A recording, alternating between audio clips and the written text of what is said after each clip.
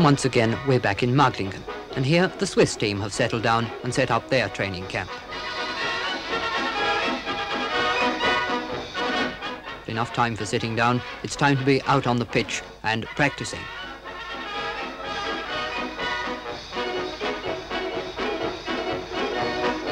And here's some practice at shooting into goal, but in goal, not the regular goalkeeper Parlier, but outside left, Fatton.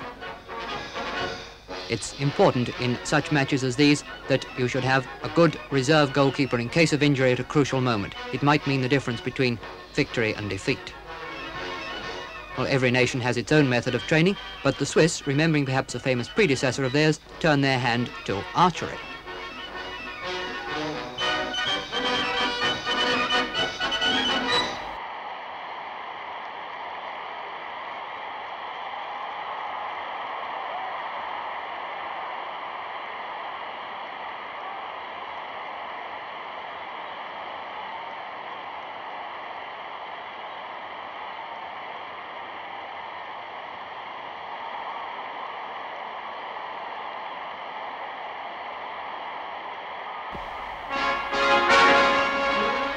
So the scene changes to Lausanne, where the home country meet Austria in a quarter-final. Austrians in white shirts.